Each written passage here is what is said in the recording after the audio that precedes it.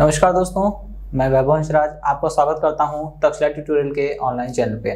दोस्तों, हम लोग क्लास ट्वेल्थ के चैप्टर नंबर टू पर बात कर रहे थे, ठीक है? जिसका नाम है स्थिर वैद्युत विभव एवं धारिता। ओके अब देखिए, इसमें हम काफ़ी टॉपिक पढ़ चुके थे, ठीक है? आज हम उसके आगे बढ़ेंगे। हमने लास्ट सेशन में परावैद्युत पदार्थों के बारे में पढ़ा था। परावैद्युत पदार्थ मतलब डायलेक्ट्रिक मटेरियल जिन्हें हम लोग अचालक पदार्थ भी कहते हैं। अचालक पदार्थ कहें या परावैद्युत पदार्थ कहें, दोनों एक ही चीज़ है, ठीक है? परावैद्युत पदार्थ हमने मेनली टू टाइप्स देखे थे, ठीक है? पहला था ध्रुवीय परावैद्युत पदार्थ और दूसरा अध्रुवीय परावैद्युत पदार्थ, ठीक है? ध्रुवीय परावैद्युत पदार्थ में क्या था? ऐसा होता है कि कुछ कुछ मतलब कुछ परावैद्युत पदार्थ इस प्रकार के होते हैं कि उनके परमाणुओं में अगर हम बात करें, उनके परमाणुओं में जाए, उनके परमाणुओं की बात करें तो उनके परमाणु कैसे होते हैं? बिल्कुल ही अध्रुवी होते हैं। अध्रुवी का मतलब उनमें कोई भी पोलैरिटीज नहीं होती है। कोई भी कोई भी प्लस साइन कोई भी माइनस साइन नाम की चीज़ नहीं होती है। ठीक है? ओके वहाँ होता क्या है? वहाँ पॉजिटिव सेंटर और निगेटिव सेंटर मतलब पॉजिटिव चार्ज का सेंटर और निगेटिव चार्ज का सेंटर दोनों क्या करता है? दोनों आपस में कोनसाइड करता है। जब दोनों कोनसाइड करते हैं तो पॉजिटिव चार्ज और निगेटिव चार्ज दोनों एक ही पॉइंट पर है। मतलब डाइपोल बनने के कोई चांस नहीं है। क्योंकि डाइपोल होने के लिए क्या होना चाहिए? पॉजिटिव और निगेटिव चार्ज के बीच में सेपरेशन होना चाहिए। ठीक है? तो उस प्रकार के हम लोग परमाणु को बोलते हैं अध्रुवी परमाणु। ठीक? आज हम पढ़ेंगे परावैद्युत पदार्थों का ध्रुवण। परावैद्युत पदार्थों का ध्रुवण, यानी कि पराइजेशन ऑफ़ डायलेक्ट्रिक मटेरियल देखिए, ध्रुवण की बात करते हैं तो पहले ये समझना होगा कि ध्रुवण होता क्या है। बाद में समझेंगे कि ये कैसे होता है, ठीक है? देखिए, यहाँ पे हमें पता है कि हम दो पदार्थ दो पदार्थ होते हैं मतलब परावैद्युत पदार्थ दो प्रकार के होते हैं। एक होता है ध्रुवी एक होता है अध्रुवी फ़र्स्ट नंबर पे हम लोग बात करेंगे अध्रुवी पदार्थों की, ठीक है? Non polar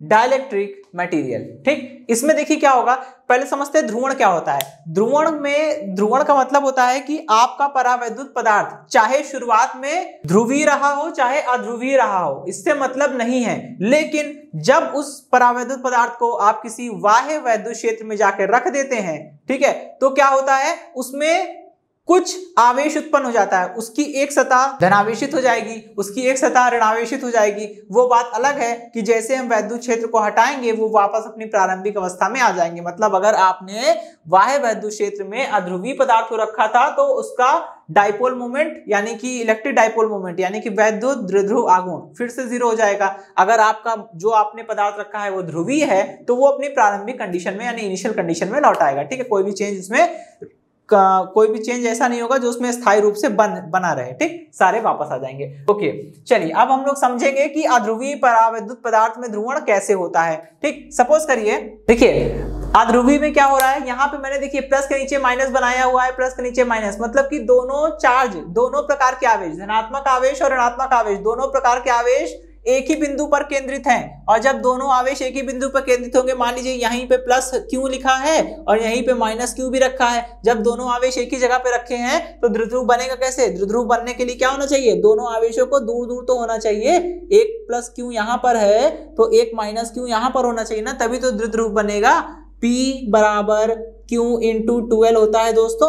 अगर ये दोनों आवेश एक दूसरे के करीब आते जाएँगे तो डिस्टेंस बीच की दूरी जो ट्वेल्व होती है, वो घटती जाएगी। अगर ट्वेल्व घटते घटते ज़ीरो हो गया, मान लीजिए प्लस क्यू आवेश माइनस क्यू पर जा माइनस क्यू के ऊपर चला गया। प्लस क्यू आवेश माइनस क्यू के ऊपर चला गया तो ट्वेल्व ज़ीरो हो जाएगा। जैसे ही आप यहाँ पे ट्वेल्व ज़ीरो रखेंगे, पूरा पी क्या हो जाएगा? ज़ीरो हो जाएगा। इसका मतलब अध्रुवी पदार्थों में धनात्मक आवेश और ऋणात्मक आवेश दोनों का केंद्र एक ही बिंदु पर होता है, जिस कारण कुल वैद्युत ध्रुव आगुण शून्य हो जाता है और वैद्युत ध्रुव आगुण शून्य हो जाता है। इसीलिए हम ये कह सकते हैं कि इनके पास कोई भी स्थायी द्विध्रुव आगुण नहीं होता है। स्थायी द्विध्रुव आगुण नहीं होता है मतलब ऐसे सामान्य अवस्था में इनके पास कोई भी द्रुध्रुव आगुण नहीं होगा। लेकिन हाँ दोस्तों, जब हम इसे किसी वाय वैद्युत क्षेत्र में रखेंगे मतलब उसका ध्रुवण करने का प्रयास करेंगे तो थोड़ी देर के लिए सही इसमें द्रुध्रुव आगुण उत्पन्न हो जाएगा। आइए देखते हैं कैसे। ठीक है? इसको मैं रख करता हूँ। कंडीशन है दोस्तों, ये वो कंडीशन है जब इलेक्ट्रिक फ़ील्ड ज़ीरो है मतलब कोई भी इलेक्ट्रिक फ़ील्ड हमने नहीं लगाई है। पी इक्वल ज़ीरो यहाँ पे कोई भी डायपोल मोमेंटम डायपोल मोमेंट भी नहीं है। ठीक है? ओके देखिए, अब हमने क्या किया? यहाँ पे एक फ़ील्ड लगा दी है। देखिए यहाँ पे क्या है? हमने एक एक्सटर्नल इलेक्ट्रिक फ़ील्ड यानी एक वाह्य वैद्युत क्षेत्र हमने लगा दिया है, ठीक है? चलिए। अब देखिएगा आपको पता है कि जब हम इस अध्रुवीय परावैद्युत पदार्थ को किसी वाय वैद्युत क्षेत्र में रख देंगे, अब आपको पता है ना दोस्तों कि जब हम किसी वाय वैद्युत क्षेत्र में किसी धनावेश को रखते हैं तो धनावेश पर बल किधर लगता है? क्षेत्र की दिशा में। तो यानी ये जितने पॉजिटिव चार्ज हैं, ये जो पॉजिटिव मैंने बनाया है, जितने पॉजिटिव चार्ज है, वो क्या होगा? वो क्षेत्र की दिशा की ओर विस्थापित हो जाएँगे, क्योंकि पॉजिटिव चार्ज पर बल लगेगा क्षेत्र की दिशा में, क्षेत्र की दिशा देखिए इधर की ओर है। तो ये सारे पॉजिटिव जो मैंने ऊपर बनाए रखे हैं, ये सारे पॉजिटिव इधर आ जाएँगे। ये पॉजिटिव ये पॉजिटिव ओके अब इसका जस्ट रिवर्स वैद्युत क्षेत्र में ऋणात्मक आवेश पर बल जो लगता है वो क्षेत्र के विपरीत लगता है। तो जितने धनावेश थे वो तो इधर चले गए, जितने ऋणावेश है वो क्षेत्र के विपरीत शिफ्ट हो जाएँगे थोड़ा सा ठीक है तो ये निगेटिव जब धनात्मक आवेश अलग है, ऋणात्मक आवेश अलग है मतलब दोनों आवेशों के बीच में कुछ दूरी है। अब देखिए, यहाँ पे दूरी भी आ गई है और दोनों आवेश भी है। मतलब अब यहाँ पे P क्या होगा? P बराबर भैया कितना होता है? P बराबर होता है Q इंटू ट्वेल्व जरा ध्यान से देखिए, यहाँ पे ध्रुव बन रहा है, बिल्कुल बन रहा है। देखिए दोस्तों, यहाँ पे पॉजिटिव चार्ज है, यहाँ पे निगेटिव चार्ज है। दोनों के बीच में एक निश्चित दूरी होगी। और वो निश्चित दूरी कुछ भी हो, उससे मतलब नहीं एक फाइनाइट डिस्टेंस होनी चाहिए, वो है। यानी कि ट्वेल्व का मान यहाँ पे भैया ज़ीरो नहीं है। जैसे यहाँ पे हो रहा था दोस्तों ज़ीरो हो रहा था, यहाँ पे ट्वेल्व ज़ीरो होने के कारण ही पी ज़ीरो हो गया था। लेकिन यहाँ पे दोस्तों, ये ट्वेल्व जो है वो प्लस और माइनस चार्जेस के बीच की डिस्टेंस है, दूरी है, जो कि ज़ीरो नहीं है। इसलिए पी ज़ीरो नहीं होगा। इसलिए मैं यहाँ पे लिखूँगा P does not equal to zero ठीक है? ओके और यहाँ पे, ध्यान दीजिएगा, यहाँ पे वाह वैद्य क्षेत्र लगा है दोस्तों। वाह वैद्य क्षेत्र ज़ीरो नहीं है, इसलिए ऐसे लिखेंगे E does not equal to zero ठीक है? ओके ठीक? इसे मैं रफ करता हूँ। अब इसको समझिएगा। ठीक है? यहाँ पे देखिए दोस्तों, हमको करना क्या है? इतनी बात समझ में आ गई हमें। ठीक है? अब यहाँ पे थोड़ी देर के लिए सही। वो मैं जानता हूँ कि जब ये इलेक्ट्रिक फ़ील्ड को हम हटाएँगे तो क्या होगा? ये पॉजिटिव निगेटिव वापस कंबाइन कर जाएँगे सब। और ये पहले जैसी स्थिति वापस उत्पन्न हो जाएगी, ठीक है? लेकिन जितनी देर के लिए आपने इलेक्ट्रिक फ़ील्ड लगा रखी है, वहाँ क्या होगा? तब तक के लिए तो ये ऐसे ही बना रहेगा। ठीक है दोस्तों? ओके अगर सपोज़ करिए दोस्तों, अगर हम इस पे वैद्युत क्षेत्र का मान और बढ़ा दें, ठीक है? अगर हम इस पे वैद्युत क्षेत्र का मान बढ़ा दें तो क्या हो सकता है? ठीक? देखिए, अगर हम वैद्युत वैद्युत क्षेत्र ई का मान बढ़ाएँगे, अगर ई का मान बढ़ाएँगे तो इसके प्लस चार्ज और माइनस चार्ज पे लगने वाला force F is equal to कितना होता था? क्यू इंटू ई ठीक है? वो बढ़ जाएगा। यानी एफ़ बढ़ जाएगा। अगर हम ये बढ़ाएँगे तो एफ़ बढ़ जाएगा। और एफ़ बढ़ेगा तो क्या होगा? ये दोनों और दूर जाएँगे। जब ये दोनों और दूर चले जाएँगे तो क्या होगा? ये दोनों और दूर चले जाएँगे तो पी बराबर कितना होता है दोस्तों? क्यू इंटू ट्वेल्व और जब ये दोनों चार्जेस दूर चले जाएँगे तो ट्वेल्व का मान बढ़ जाएगा। ट्वेल्व का मान बढ़ जाएगा तो पी बढ़ जाएगा। यानी कि अब द्विध्रुव और ज़्यादा हो गया, ठीक है? जितनी ज़्यादा इलेक्ट्रिक फ़ील्ड लगाएँगे, उतनी ही ज़्यादा आवेश दूरी मतलब आवेशों के बीच की दूरी उतनी ज़्यादा बढ़ती जाएगी, दोनों और ज़्यादा सेपरेट हो जाएँगे और ट्वेल्व का मान बढ़ेगा तो पी बढ़ेगा, यानी द्विध्रुव बढ़ता जाएगा। ओके लेकिन दोस्तों हर चीज़ की एक लिमिट होती है। एक ऐसा समय ज़रूर आएगा जब आप इलेक्ट्रिक फ़ील्ड इतनी ज़्यादा लगा देंगे, इतनी हाइयर इलेक्ट्रिक फ़ील्ड लगा देंगे कि वो दोनों आवेश क्या होगा? बिल्कुल एक दूसरे से इतने अलग हो जाएँगे कि वापस वो कंबाइन नहीं हो सकते। मतलब कहने का ये है कि अगर आप इलेक्ट्रिक फ़ील्ड यानी वैद्युत क्षेत्र को निरंतर बढ़ाते जाएँगे, असीमित और अनियमित रूप से बढ़ाते जाएँगे तो लास्ट में क्या होगा? एट लास्ट परमाणु में से, परावैद्युत पदार्थ के परमाणु में से इलेक्ट्रॉन जो है वो निकल जाएगा। इलेक्ट्रॉन निकल जाएगा मतलब परमाणु आपका आयनित हो जाएगा। और जब परमाणु आयनित हो गया है, इलेक्ट्रॉन निकल गया है तो इसी प्रक्रिया को बोलते हैं कि परावैद्युत पदार्थ का भंजन हो गया है। ठीक है? तो वो डायलेक्ट्रिक मटेरियल वेस्ट हो जाता है, बेकार हो जाता है, क्योंकि डायलेक्ट्रिक मटेरियल का जो काम है, संधारित्र में आगे आप समझेंगे वो काम नहीं हो पाएगा, अगर यहाँ पे भंजन हो गया। तो हमें ध्यान रखना है दोस्तों कि इलेक्ट्रिक फ़ील्ड की वैल्यू एक लिमिट से ज़्यादा ना हो। वो मैक्सिमम लिमिट से ज़्यादा अगर इलेक्ट्रिक फ़ील्ड होगी तो दिक्कत करेगा भाई, ठीक है? तो आप इस चीज़ को ध्यान में रखिएगा, ठीक? ओके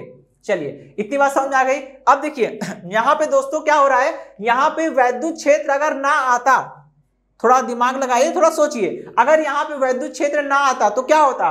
तो ज़ाहिर सी बात है कि वैद्युत द्विध्रुव आगुण उत्पन्न ना होता, क्योंकि ना वैद्युत क्षेत्र होता, ना ये प्लस चार्ज अलग माइनस चार्ज अलग भागते। जब प्लस चार्ज अलग माइनस चार्ज अलग ना भागते तो द्विध्रुव ना बनता। द्विध्रुव ना बनता तो द्विध्रुव आगुण भी उत्पन्न ना होता। और जब द्विध्रुव आगुण उत्पन्न ना होता तो हम ये कैसे कहते हैं कि परावैद्युत पदार्थ जो है वो ध्रुवित हो गया है, या उसका ध्रुवण हो गया है, हम नहीं कह सकते थे ना। बस, खत्म। तो बस, यहाँ भी वही चीज़ है। यानी कि इसमें जो वैद्युत द्विध्रुव आगुण उत्पन्न हुआ है उसका कारण कौन है? वाह वैद्युत क्षेत्र। गुड और ये वाह वैद्युत क्षेत्र ने किया क्या है? इसमें द्विध्रुव आगुण को प्रेरित किया है। इसलिए इस प्रकार के ध्रुवण को बोलते हैं प्रे, प्रेरण द्वारा परावैद्युत पदार्थ का ध्रुवण। ठीक है? प्रेरण द्वारा परावैद्युत पदार्थ का ध्रुवण। और इसे हम एक और नाम से जान सकते हैं। इसे हम लोग बोल सकते हैं प्रेरित ध्रुवण। इंड्यूस्ड पोलराइजेशन प्रेरित ध्रुवण का मतलब होता है इंड्यूस्ड पोलराइजेशन ओके तो ये बात समझ में आ गई। ये सब छोटी छोटी चीज़ें हैं। आपसे बहुविकल्प में पूछ सकते हैं कि भाई अगर पदार्थ हमारा ध्रुवी है तो उसमें कौन सा पोलराइजेशन होगा? प्रेरित ध्रुवण होगा, यानी कि इंड्यूस्ड पोलराइजेशन होगा। अब इसको मैं रफ करता हूँ। ध्रुवी पराविद्युत पदार्थ। चलिए, अब हम लोग इसको समझेंगे कि ध्रुवी पराविद्युत पदार्थ है क्या।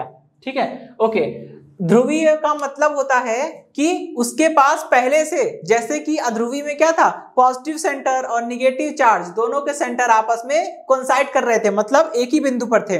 और इसलिए उनका द्विध्रुवागुण ज़ीरो हो गया था। यहाँ पे ऐसा नहीं होगा दोस्तों। यहाँ पे दोनों पहले से अलग अलग होंगे, ठीक है? अब दोस्तों उसको देखिए।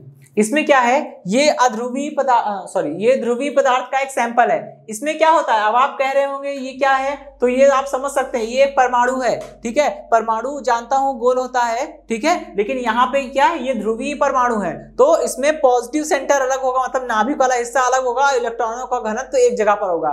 जहाँ पर इलेक्ट्रॉनों का घनत्व होगा, उसको हम लोग बोलेंगे कि वहाँ पे ऋणात्मक आवेश है, और जहाँ पे नाभिक होगा, उसको हम लोग बोलेंगे धनात्मक आवेश है। धनात्मक आवेश अलग होगा, ऋणात्मक आवेश अलग होगा, दोनों के केंद्र अलग अलग होंगे मतलब दोनों के बीच में एक निश्चित दूरी होगी। और जब दोनों के बीच में एक निश्चित दूरी है तो अगर हम बात करें दोस्तों किसी एक परमाणु की, ये जो अंडाकार दिख रहे हैं आपको, ये परमाणु है, ठीक है? ये ध्रुवी परमाणु है, इसलिए गोल ना होकर क्या है? अंडाकार है। तो अंडाकार परमाणु की बात करते हैं, ये जो है, इसमें पी ज़ीरो नहीं होगा। इसका पी ज़ीरो नहीं होगा। यानी कि अगर हम हर एक एक एक परमाणु की बात करें, ध्रुवीय परावैद्युत पदार्थ के एक छोटे से छोटे परमाणु की बात करें तो दोस्तों वो परमाणु का द्विध्रुवागुण ज़ीरो नहीं होता है। जी हाँ उसका द्विध्रुवागुण ज़ीरो नहीं होता है। लेकिन अगर हम बात करेंगे पूरे पदार्थ की, पूरे पदार्थ में ध्यान रखिएगा दोस्तों, इसके जैसे बहुत ढेर सारे परमाणु होंगे, असंख्य अनगिनत परमाणु होंगे, ठीक है? लेकिन पूरे पदार्थ का अगर हम बात करें द्विध्रुवागुण तो पूरे पदार्थ का द्विध्रुवागुण क्या होता है? ज़ीरो होता है। अब आप कहेंगे, ये कैसे? तो दोस्तों, एक बात जान लीजिए पी क्या है? पी एक वेक्टर है मतलब सदिश राशि है। सदिश राशियों की गणना कर, सदिश राशियों में दिशाएँ भी तो होती है। आप इसका कुल द्विध्रुव आगुण निकालेंगे, ठीक है? मैं यहाँ पे चलिए टी लिख दे रहा हूँ। टी मतलब total P of T zero है। क्यों? मतलब जब आप पूरे पदार्थ के लिए द्विध्रुव आगुण निकालेंगे तो आपको करना क्या होगा? हर एक परमाणु का द्विध्रुव आगुण निकाल निकाल कर आपको क्या करना पड़ेगा? जोड़ना पड़ेगा। जैसे ही आप हर एक परमाणु का द्विध्रुव आगुण निकाल कर जोड़ेंगे, वैसे ही ये क्या हो जाएगा? वैसे ही इसका द्विध्रुवागुण ज़ीरो आएगा। क्यों? क्योंकि आपको पता है दोस्तों द्विध्रुवागुण की दिशा ऋणात्मक आवेश से धनात्मक आवेश की ओर होती है। यहाँ देखिए, इसकी दिशा इधर की ओर हो गई, इसकी दिशा ऐसी हो गई, इसकी दिशा ऐसी हो गई। मतलब सब अपनी अपनी दिशा में रैंडमली है रैंडमली ओरिएंटेड है। जब सबकी दिशा अपने हिसाब से है, मनमानी ढंग से है तो यहाँ पे कोई भी सिग्निफिकेंट रिज़ल्ट निकल के नहीं आएगा। सीधी सी बात है भाई, आप खुद ऐसे समझ सकते हैं दोस्तों, अगर एक कमरे में रहने वाले दस स्टूडेंट्स में से, ठीक है कुछ स्टूडेंट सफ़ाई कर रहे हैं और कुछ स्टूडेंट्स गंदगी कर रहे हैं। पाँच स्टूडेंट सफ़ाई करें, पाँच गंदगी करें तो रिज़ल्ट क्या आएगा? कमरा वैसे का वैसा बना रहेगा। ठीक है? कोई फ़र्क नहीं पड़ेगा। यहाँ भी वैसे ही हो रहा है। सब अपने मनमानी ढंग से, जिसको जैसे आया वैसे पड़ा हुआ है। ठीक है? तो यहाँ पे क्या होगा दोस्तों? यहाँ पे द्रिध्रुवागुण कुल द्रिध्रुवागुण ज़ीरो होगा। ठीक है? कब? जबकि हमने कोई इलेक्ट्रिक फ़ील्ड नहीं लगाई है। ठीक है?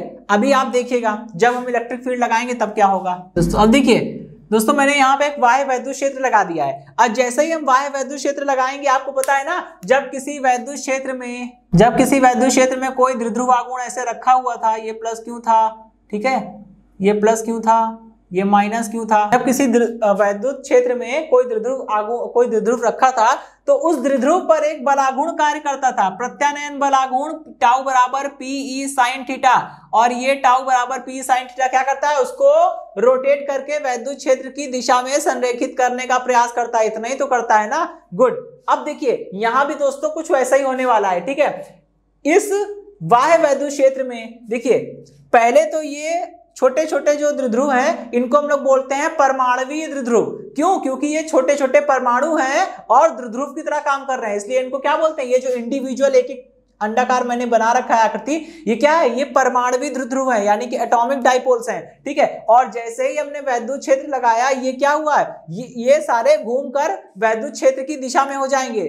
क्योंकि उन पर एक प्रत्यानयन बलागुण टाउ बराबर पी साइन थीटा काम कर रहा होगा, ठीक है? और निगेटिव वाले चार्जेस इधर हो जाएँगे पॉजिटिव वाले इधर, ठीक? ठीक है? ओके और अब आपको दिख रहा होगा दोस्तों, यहाँ पे हर एक परमाणु का अपना द्विध्रुव आगुण है, और वो ज़ीरो नहीं है, देखिए। क्योंकि यहाँ पे देखिए negative to positive negative to positive zero नहीं है। ठीक है? इसका मतलब और एक और चीज़ दोस्तों, यहाँ भी आगुण तो यहाँ भी ज़ीरो नहीं था ना, लेकिन कुल आगुण ज़ीरो क्यों आया? क्योंकि सभी द्विध्रुव अपने मनमाने ढंग से अलग अलग दिशाओं में संरेखित थे तो कुल द्विध्रुव आगुण जो था दोस्तों, ज़ीरो हो गया। लेकिन यहाँ पे ऐसा नहीं हो रहा है। यहाँ पे सारे द्विध्रुव एक ही दिशा में संरेखित हो गए और जब सब लोग मिलके काम करते हैं ना दोस्तों तो ज़रूर वहाँ पे कोई इफ़ेक्ट दिखाई देता है। बिल्कुल वही बात हो रही है। यहाँ पे सारे द्विध्रुव एक ही दिशा में संरेखित हो गए सबका द्विध्रुव आगुण एक ही दिशा में है तो कुल द्विध्रुव आगुण निकालेंगे तो वो अब ज़ीरो नहीं आएगा, वो अपनी मैक्सिमम वैल्यू पे कोई एक फाइनाइट वैल्यू आएगी, ठीक है? तो मैं यहाँ पे लिखूँगा, जब इलेक्ट्रिक फ़ील्ड ज़ीरो नहीं है E does not equal to zero जब इलेक्ट्रिक फ़ील्ड ज़ीरो नहीं है तो क्या है दोस्तों? P does not equal to zero P T does not equal to zero वो भी ज़ीरो नहीं है, ठीक है? इतनी चीज़ समझ में आ गई? गुड ठीक है? आई होप अब देखिए, यहाँ पे होना क्या है? यहाँ पे ये होना है कि वैद्युत क्षेत्र ही वैद्युत क्षेत्र ही तो वो कारण है, जिसके कारण ये सब घूम के संरेखित हो गए। क्योंकि तो अगर ये सब घूम कर एक ही दिशा में संरेखित ना होते तो कभी भी द्विध्रुवागुण ज़ीरो ना मिलता। ठीक है? कभी भी सॉरी नॉन ज़ीरो ना मिलता। हमेशा ज़ीरो ही आता ज़ीरो के अलावा कभी कुछ ना मिलता हमें, ठीक?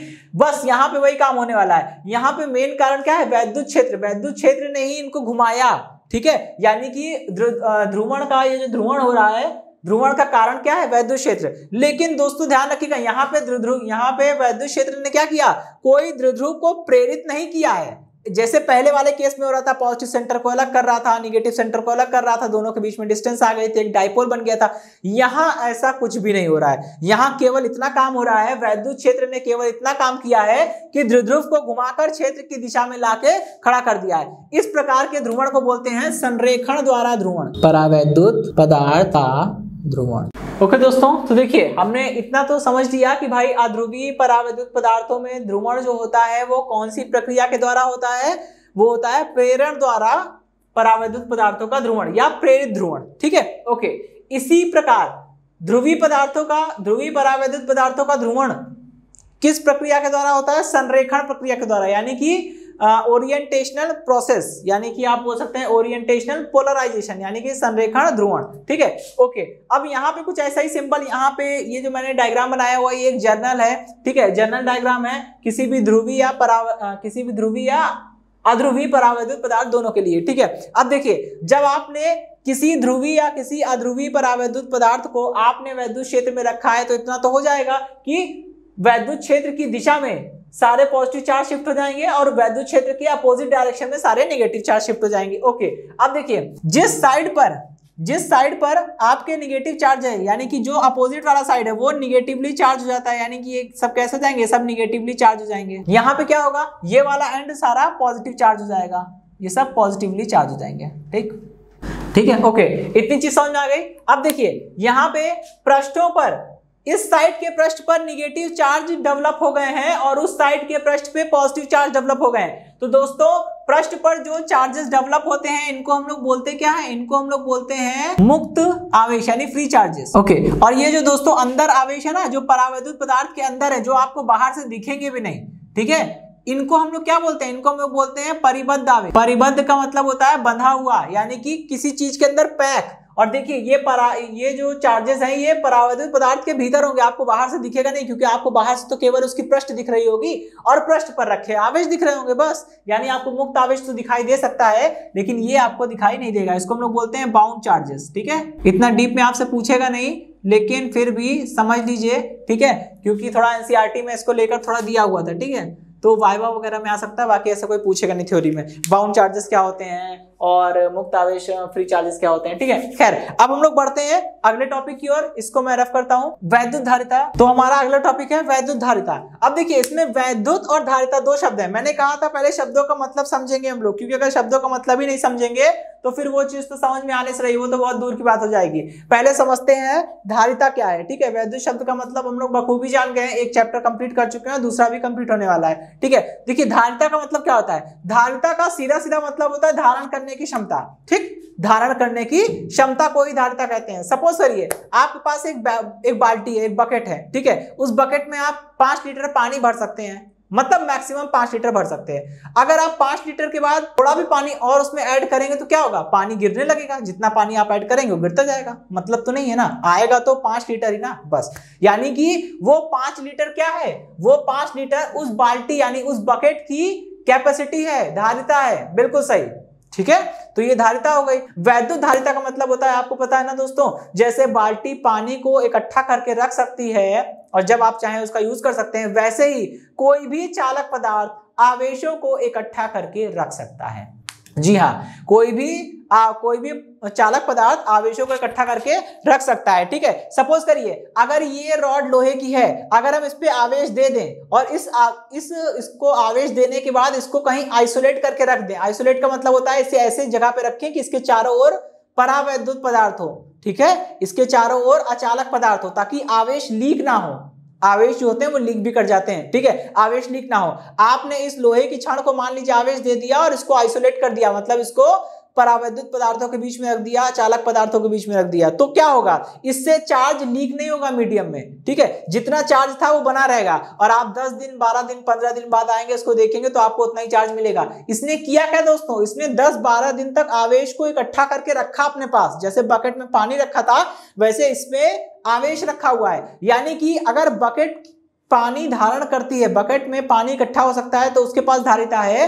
तो दोस्तों, चालक ये लोहे की रॉड, चालक पदार्थ ने भी तो आवेशों को इकट्ठा किया है, इसकी भी तो धारिता होगी। बिल्कुल सही। तो बस, क्या हुआ? किसी भी चालक पदार्थ के द्वारा आवेशों को एकत्र करने की, संग्रहित करने की, इकट्ठा करने की जो क्षमता होती है, उसी को हम लोग क्या बोलते हैं? वैद्युत धारिता। ठीक है दोस्तों? ओके। और दोस्तों, हमने एक चीज़ देखी है कि अगर मान लीजिए हम किसी भी चालक पदार्थ को क्यों आवेश देते हैं तो उसमें विभव उत्पन्न हो जाता है। क्योंकि सपोज़ करिए, शुरुआत में इस रॉड को हमने कोई आवेश नहीं दिया है। No charge means no potential लेकिन जैसे जैसे हम रॉड पर आवेश की मात्रा को बढ़ाते जाएँगे वैसे वैसे उस पर विभव भी बढ़ता जाएगा। जैसे जैसे आवेश की मात्रा को बढ़ाएँगे वैसे वैसे विभव बढ़ेगा। और जैसे जैसे विभव बढ़ेगा तो आपको पता है ना, यहाँ पे अगला स्टेप क्या होगा?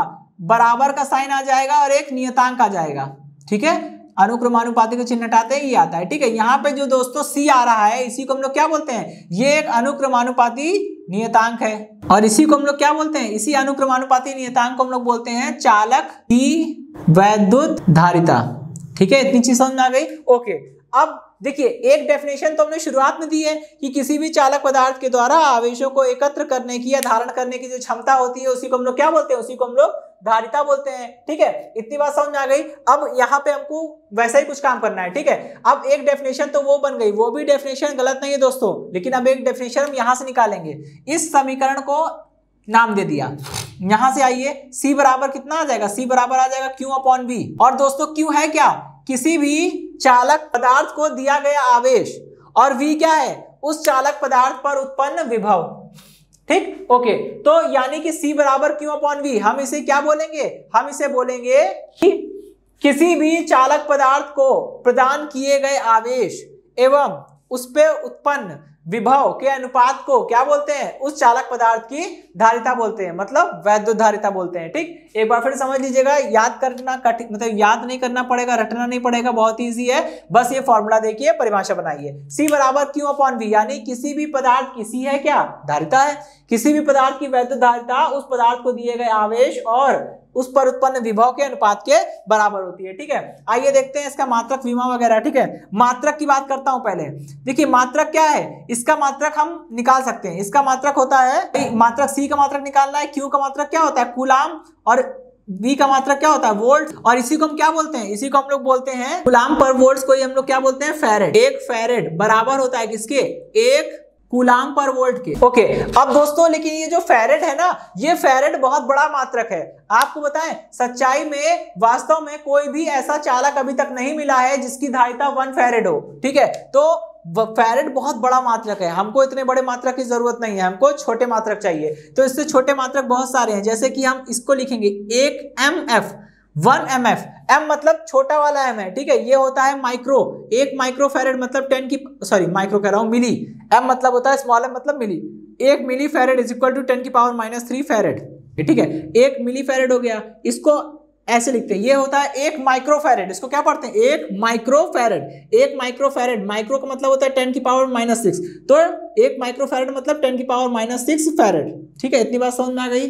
ओके अब बात करेंगे तीसरा, एक नैनो फेरेड ठीक है? One nano farad one nano farad का मतलब होता है टेन की पावर माइनस नाइन फेरेड इतनी बात समझ में आ गई? गुड ठीक है? ओके मात्रक हो गया. ठीक है? विमा विमा की बात करेंगे अभी हम। और उससे पहले सदिश आदिश, ये जान लिया जाए।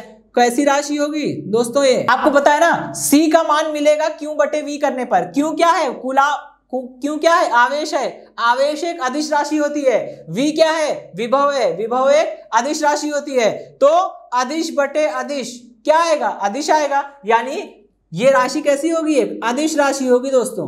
ओके, अब बात करते हैं हम लोग बीमा की। पहले सी की बीमा निकालनी है तो आवेश की बीमा को ऊपर रखेंगे, विभव की बीमा को नीचे रखेंगे, दोनों को डिवाइड करेंगे। आवेश की बीमा कितनी होती है? एटी और विभव की बीमा? विभव की बीमा अगर नहीं पता तो निकाल लीजिए वी बराबर कितना होता है? डब्ल्यू अपॉन क्यू ठीक है? चलिए, अब डब्ल्यू का डब्ल्यू की बीमा होती है M L T minus two sorry M L two T minus two upon में इसकी भी माँ होती है ए टी तो ये सॉल्व होकर कितना आ जाएगा? ये आ जाएगा M L two T minus three A minus one ठीक है? इसकी, ये आ गई v की भी माँ। M L two T minus three A minus one यहाँ पे रख दीजिए आप। कितना हो जाएगा?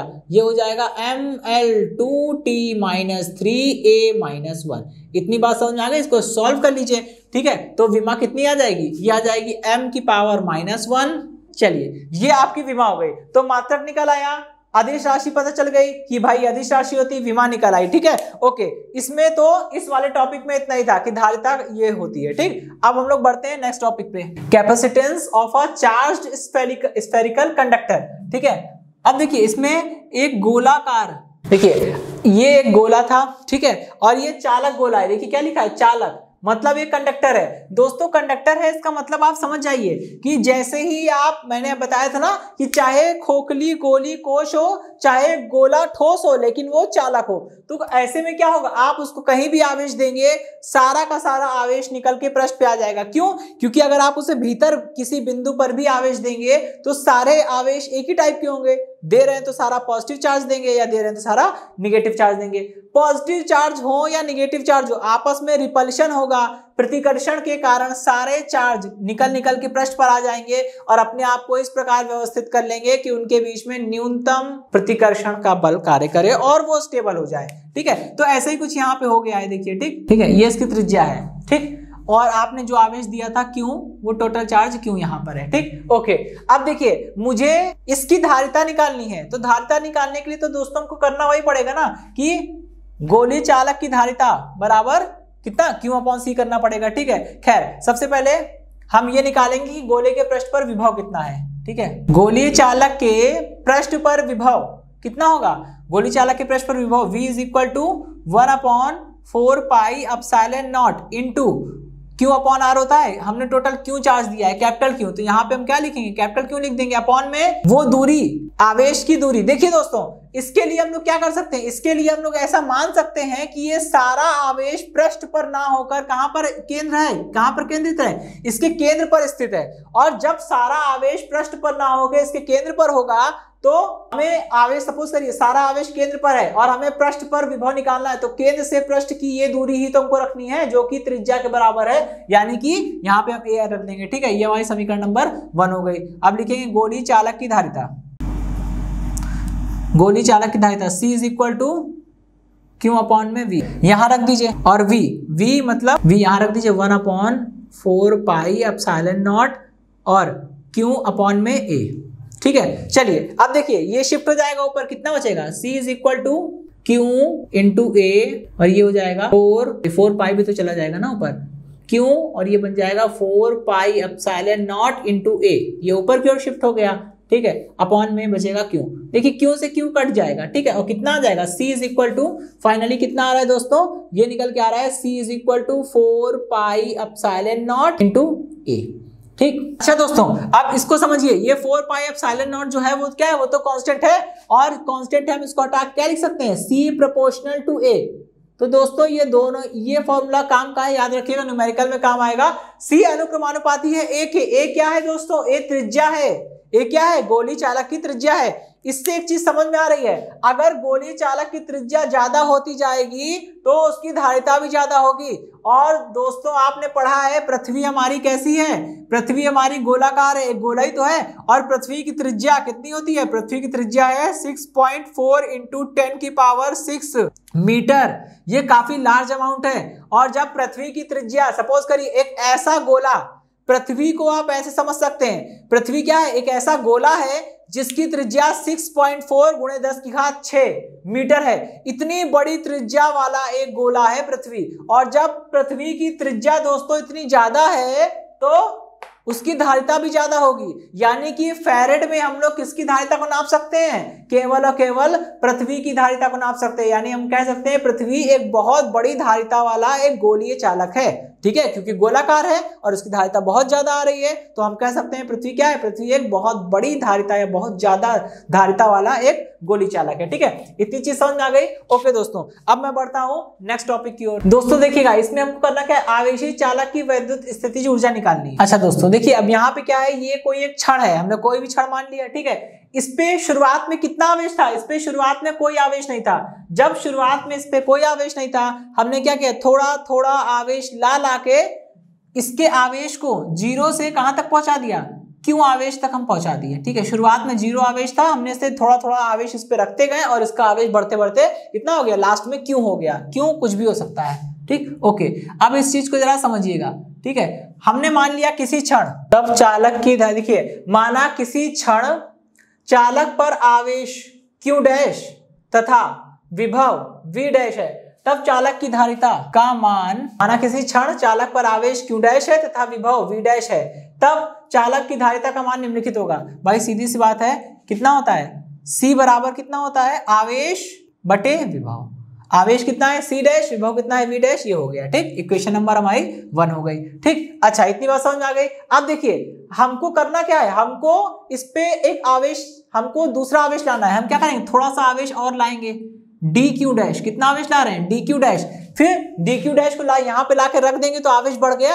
आवेश बढ़ गया तो विभव भी बढ़ गया क्योंकि मैंने बताया था आवेश जब बढ़ाएँगे तो विभव भी बढ़ेगा। दोनों प्रोपोर्शनल होते हैं तभी तो क्यू बराबर सी भी आया था। बस वही चीज़ होनी है ठीक है? तो थोड़ा सा आवेश और ला के रख देंगे। हम्म, हम ये निकालेंगे कि डी क्यू आवेश को डीक्यू आवेश को चालक पर लाकर रखने में किया गया कार्य। कितना कार्य करना पड़ रहा है? ठीक है, डीक्यू आवेश को चालक पर लाकर रखने में हम कितना कार्य कर रहे हैं? सिंपल है। क्या करेंगे? यहाँ पे लिखेंगे डी डब्ल्यू भाई, थोड़ा आवेश ला रहे हैं तो कार्य भी तो थोड़ा होगा। कार्य बराबर कितना होता है? डब्ल्यू इज़ इक्वल टू दोस्तों, कितना होता था? क्यू इंटू वी ठीक है? जहाँ पे क्यू वो आवेश होता है, जो आवेश हम ला रहे हैं, और वी वो विभव होता है, जो विभव उस पर था। देखिए दोस्तों, जब हम डी क्यू आवेश को ला रहे हैं, अभी ला रहे हैं ना, लाए तो नहीं है। तो शुरुआत में मतलब पहले जितना आवेश था क्यू डैश था और विभव वी डैश था। तो जब आवेश को ले आएँगे, विभव तो तब चेंज होगा ना, क्योंकि जब आवेश को ले आएँगे तो आवेश बढ़ जाएगा। आवेश बढ़ जाएगा तो विभव अपने आप बढ़ जाएगा, क्योंकि क्यों अनुक्रमानुपाती होता है वी के ठीक है? तो अभी तो लेकिन विभव वी डैश है और आवेश कितना है? क्यू डैश है। ठीक है? तो चलिए, यहाँ पे रखेंगे और यहाँ पे विभव तो वी डैश है, लेकिन जिस आवेश को ला रहे हैं, ये वो आवेश होता है। हम कौन सा आवेश ला रहे हैं? D Q dash D Q dash ठीक? अब देखिए, समीकरण एक का यूज़ करिए।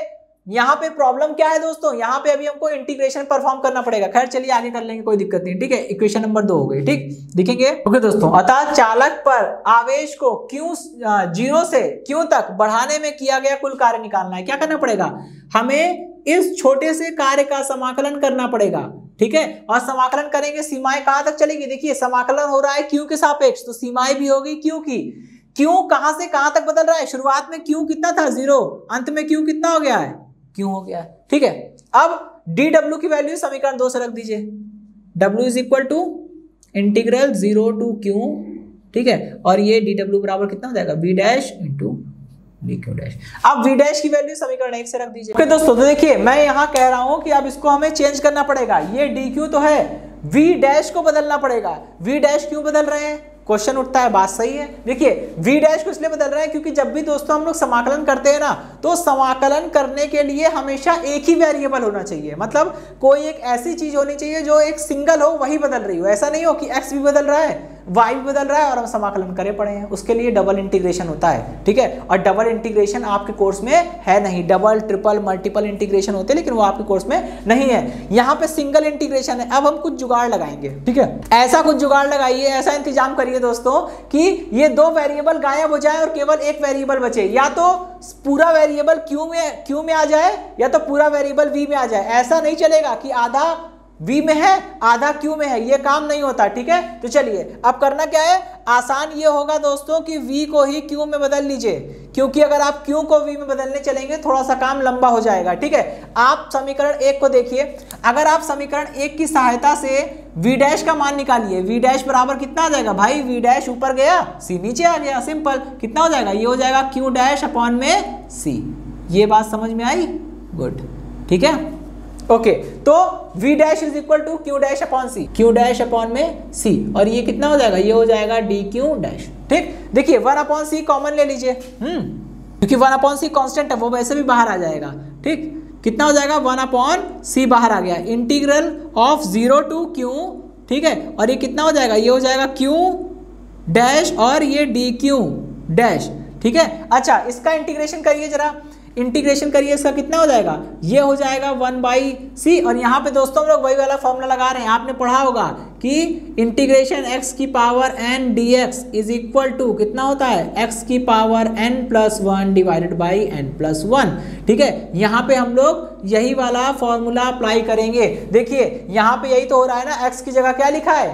एक्स की जगह लिखा है क्यू डैश पावर इसकी दोस्तों वन है, क्योंकि पावर कुछ नहीं मतलब पावर क्या है? पावर वन है। इतनी बात समझ में आ गई? ओके और यहाँ पे dx मतलब यहाँ D Q by X X की जगह पे क्यों लिखा है? तो dx की जगह पे dq होगा ही ऑब्वियस सी बात है, ठीक है? और इसका इंटीग्रेशन करेंगे तो कितना आ जाएगा? सपोज़ करिए, यहीं पे आप रिप्लेस कर दीजिए, x की जगह पे क्यों क्यों डैश रख लीजिए? ये हो गया डी क्यू डैश कितना हो जाएगा? ये कह रहा है जो x था पहले वो लिखिए। हमारे पास x की जगह क्या है? क्यों है। तो हम यहाँ पे क्यों लिख लेंगे। फिर कह रहा है पावर में n प्लस वन करिए। यहाँ पावर वन थी। वन प्लस वन वन में वन जोड़ेंगे टू आ जाएगा। अपॉन में वन प्लस वन यानी कितना आ गया? ये पूरा आ जाएगा। ये पूरा आ गया हमारा क्यू स्क्वायर क्यू डैश का स्क्वायर ऐसा समझ लीजिए। वन बाई टू अलग हो गया और ये हो गया हमारा क्यू डैश का स्क्वायर ठीक है? ओके तो वही काम यहाँ करना है ठीक है? ये हो जाएगा क्यू डैश का स्क्वायर अपॉन में टू ज़ीरो टू क्यू? ठीक है इसको सॉल्व कर लीजिए। W is equal to one by two और ये हो जाएगा वन बाई टू सी ठीक? और ये हो गया आपका क्यों अब देखिए यहाँ पे लिमिट रखेंगे। एक बार क्यों की क्यू डैश की जगह रखेंगे अपर लिमिट क्यों? तो ये हो जाएगा और यहाँ पे स्क्वायर भी है दोस्तों है ना? स्क्वायर भी है ठीक?